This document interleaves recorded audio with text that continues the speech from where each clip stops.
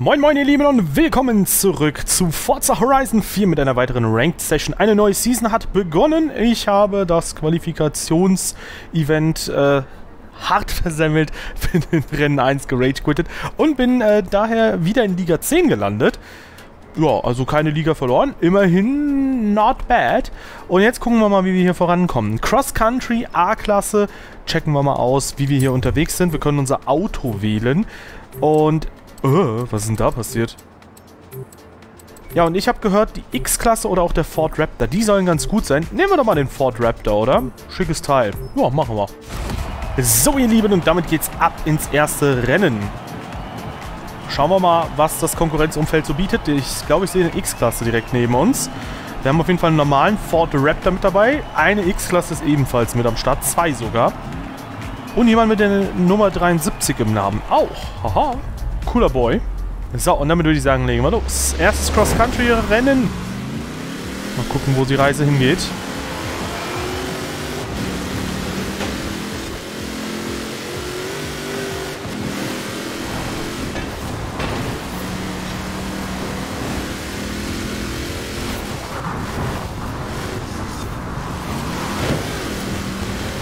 Ja, okay, das war nicht ausreichend stark für eine Strafe. Die Berührung mit der Wand, das ist gut.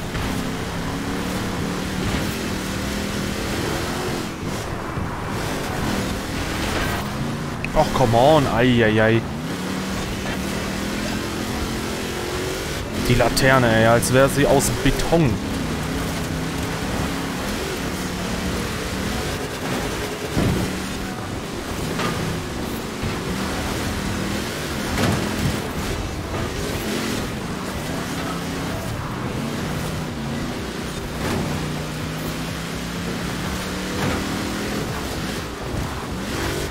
Sag wie spät willst du einlenken? Du wolltest einfach nur mich wegschieben von dort. Och, come on, Kollege.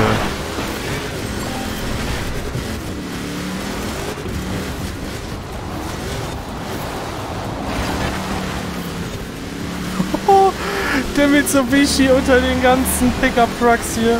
Oh mein Gott.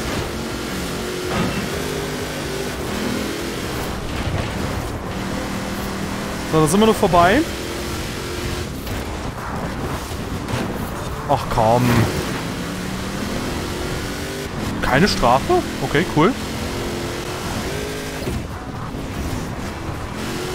Hat das Spiel irgendwie auch so einen Mechanismus, wo es erkennt, wenn mich jemand in die Mauer drückt oder was ist los? Krass. Aber auf die zwei nach vorne gekommen durch viel Konstanz. Konstanze ist mit uns.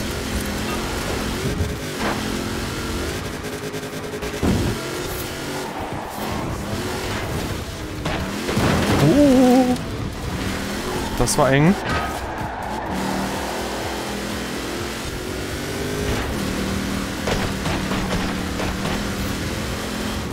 Ah, die Außenlinie war, glaube ich, schneller. Nein! Das war natürlich für mich sehr unglücklich.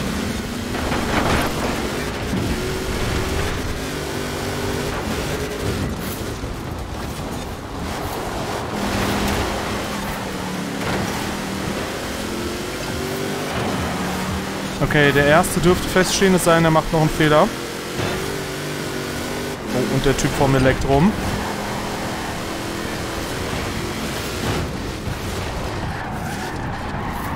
Warum schiebt er mich dann die ganze Zeit weg? Das verstehe ich halt nicht. Der fährt dann selbst die Kurve einfach nur weiter innen an.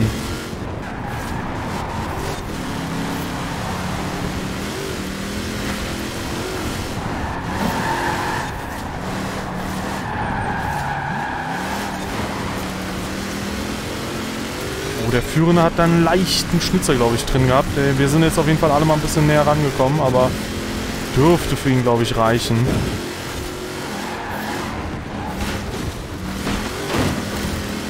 Das war eng.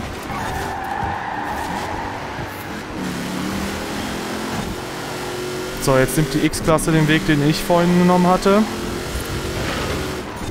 Und hier sieht man's. Nein, viel schnellere Entry, aber dann mache ich wieder den Fehler aus der vorigen Runde. P5 immer noch, immerhin. Ah. Ja, das ist ein bisschen fies, dass man da so hart Geschwindigkeit verliert.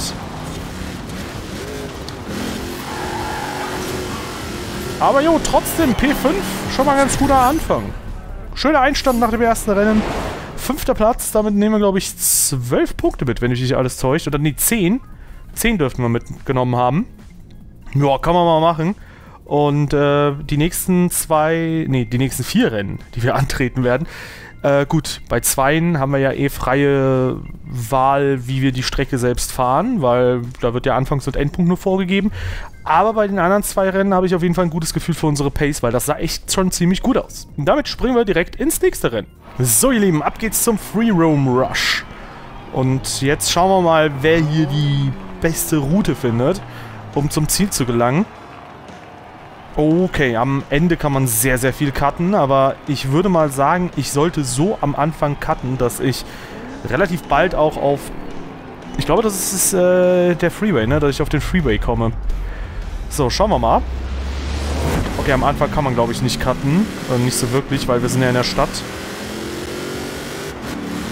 So, hier ist am Anfang niemand geghostet.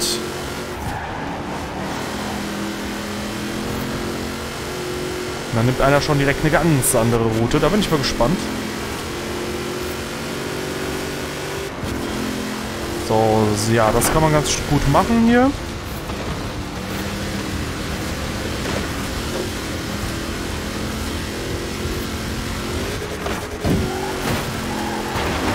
Ach, come on. Das ist halt aber auch mal wieder so typisch. Geil. Ja, was soll ich machen, Saved Fanatic? Was soll ich machen? Erwartest du, dass ich da verschwinde oder was? Es tut mir wirklich leid, aber ich kann da halt auch nichts machen. Okay, der Warthog ist schon mal sehr langsam auf dem Freeway.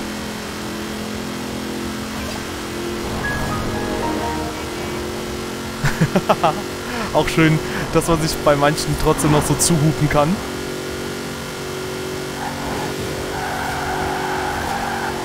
So, schönes Ding.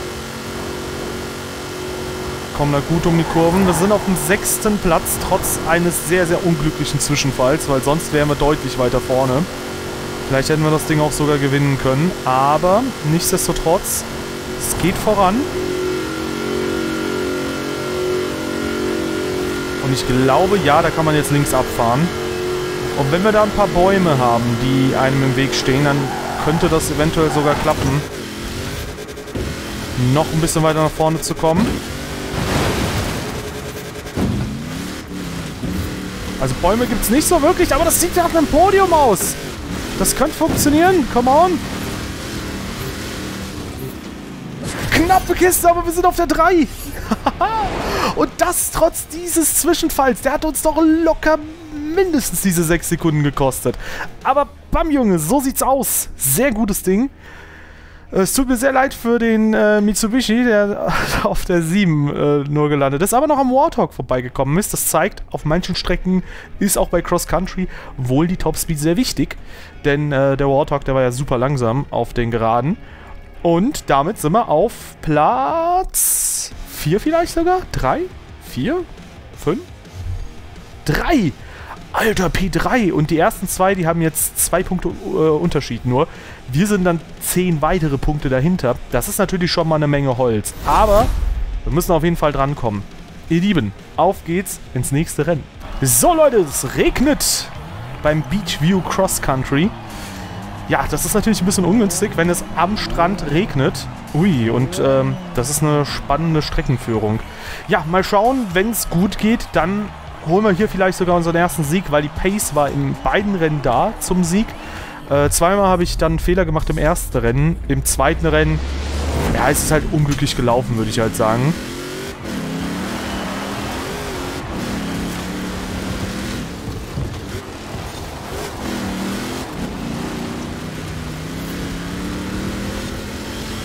jetzt mal schauen, wie das dritte Rennen läuft.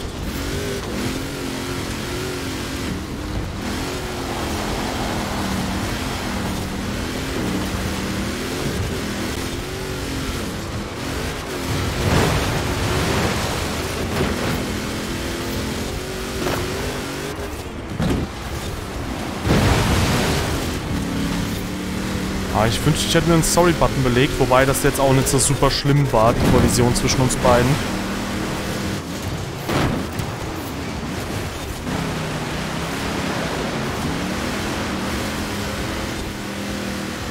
Sauber. Schön die Innenbahn gehabt von uns beiden.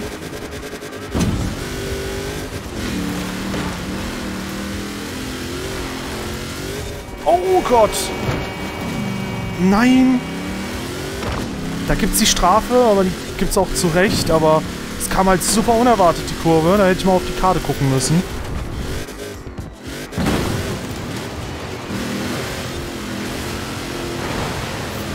Und damit sind wir auf der 4 immer noch. Also insgesamt gut Positionen, gut gemacht.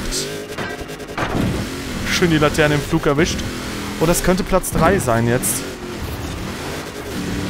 Highspeed-Kollision predicted. Ich wünschte, das gäbe es in Gran Turismo Sport, weil da würde ich jetzt gerade immer noch GT Sport spielen und würde Spaß bei dem Spiel haben, aber ja, meine Spielereihe, mit der ich quasi meine Zockerkarriere gestartet habe, treibt mich aktuell in den Wahnsinn. So, ihr Lieben, haben wir den Abstand vielleicht auf unter 4 Sekunden sogar reduziert. Zweites Podium in Folge, das ist schon mal super. Oder drittes? Nee, ich glaube zweites Podium. Im ersten Rennen waren wir Fünfter. Äh, Abstand war am Ende immer noch bei 4 Sekunden, aber sieht gut aus alles. Ja, bin sehr happy und der Mitsubishi, trotz verzögertem Start, ist da trotzdem noch auf die 7 vorgekommen. Und ähm, eine der X-Klassen ist weit zurückgefallen. Ist natürlich die Frage, welche der beiden X-Klassen wir gerade gesehen hatten. Aber wir sind immer noch auf der 3, knapp hinter dem zweiten. Also der Sieg ist eventuell außer Reichweite, aber Platz 2 ist immer noch drin. Hoffen wir mal in Rennen 4 auf ein gutes Rennen. Eine gute Route. Schauen wir mal. So, ihr Lieben, ab geht's zum nächsten Free Roam Rush. Schauen wir mal, wo es hier lang geht. Boah, am Ende kann man hier natürlich ein bisschen abwirken, äh, abkürzen, abwürgen am Bergwerk. Aber ich glaube, ich glaube, ich werde direkt ähm, in Richtung Westen fahren. Das bringt's, glaube ich, wirklich. Machen die meisten anderen tatsächlich auch ganz ähnlich. Weil direkt da ist eine Brücke und da kommst du halt rüber. Hoffen wir, dass es gut läuft. Oh Gott.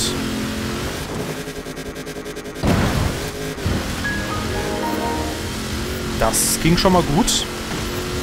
Da bin ich happy. Und noch führen wir das Ding hier an.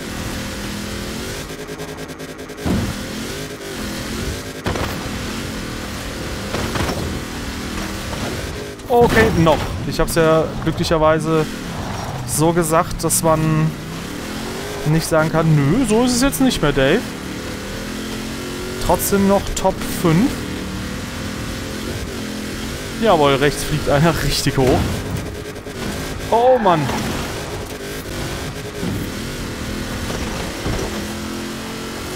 Bisschen Tempo aufnehmen. Und wieder rüber.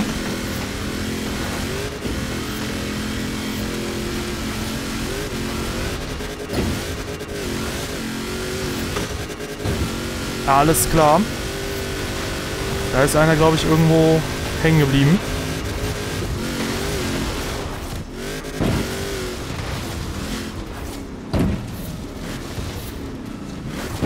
Nein! Oh, es ist aber so schade manchmal. Komm schon! Ich glaube, wir müssen eh jetzt hier langsam entlang. Weil wir müssen da langsam aber sicher in Richtung Brücke fahren.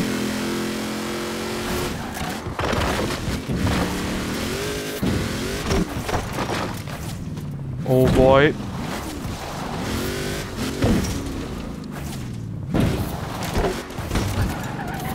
Oh, wir sind tatsächlich einen Ticken zu weit gefahren. Oh Mann, Mann, Mann, Mann, Mann.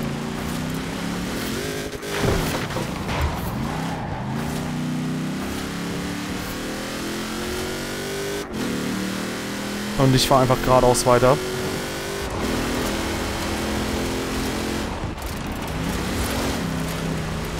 Bin tatsächlich siebter von acht jetzt. Das äh, ging mächtig nach hinten los.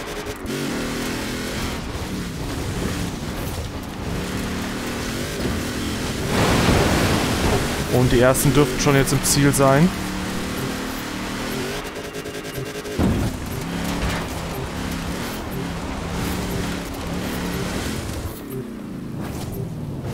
Nicht weiter runterfallen. Nein, tu das nicht. Nein. Oh, und jetzt kommt so ein komischer Rücksetzpunkt wieder.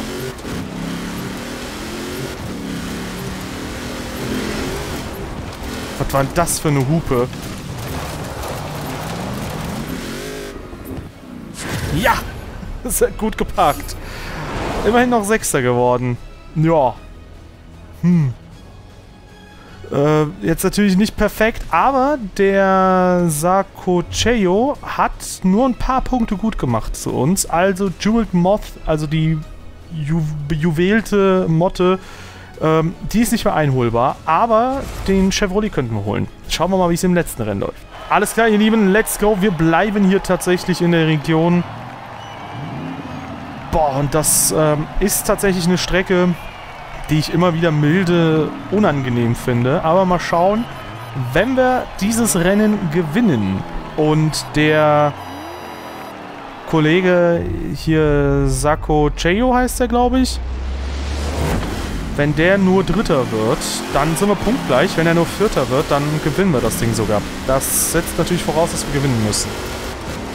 Aber mal schauen. Kann natürlich auch Zweiter werden und wenn er dann weiter hinten im Ziel ist, dann ist es auch gut.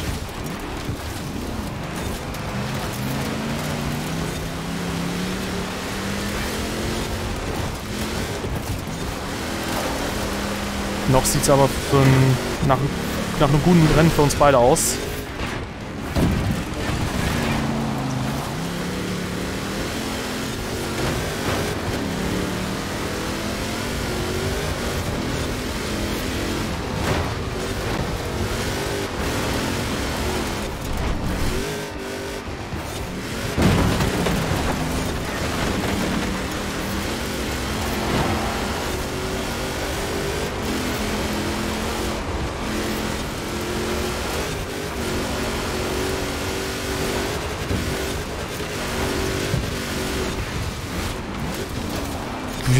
Wie, wie wurde der denn plötzlich so langsam?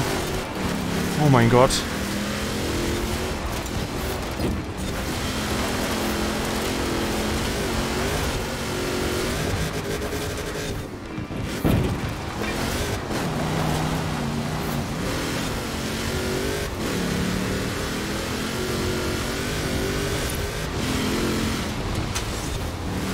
Oh Gott, ist das eng hier! Oh nein, ich springe zu weit links, glaube ich. Und er führt das Rennen an. Oh, das ist natürlich genau das gegenteilige Szenario von dem, was ich wollte.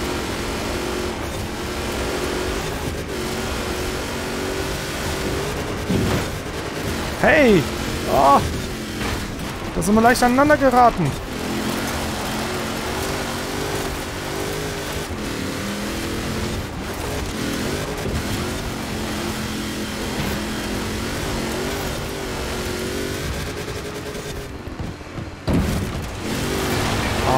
Diese, bei diesem Sprung habe ich es bis zuletzt nicht hinbekommen, guten Exit zu haben.